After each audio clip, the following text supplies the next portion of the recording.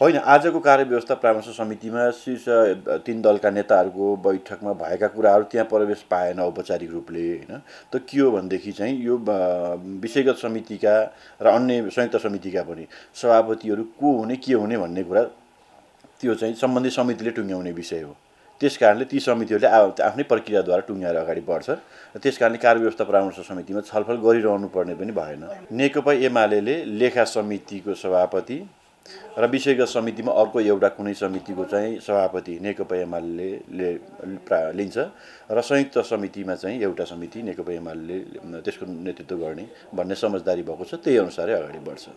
प्रधानमन्त्रीले चाहिँ अब हाम्रो नियमावलीमा व्यवस्था भए बमोजिम अब प्रत्येक महिनाको पहिलो हप्ता त्यसमध्ये कुनै एउटा अनुकूल दिन प्रधानमन्त्रीलाई अनुकूल हुने दिन निर्धारण गरेर त्यसमा चाहिँ प्रश्नोत्तर गर्ने भनेर हामीले त्यसलाई व्यवस्थित गरेका छौँ। त्यस सन्दर्भमा चाहिँ अहिलेसम्म टेन्टेटिभ चार गते नै प्रधानमन्त्रीले चाहिँ प्रश्नोत्तरमा सहभागी हुने कि भन्ने मोटामोटी त्यसको वर्कआउट हुँदैछ तयारी पनि हुँदैछ। त्यो हुँदा संसदभित्र रहेका दलहरूको स्ट्रेन्थको आधारमा प्रश्नहरू प्रधानमन्त्रीलाई सोध्ने गरी समझदारी बनेको छ।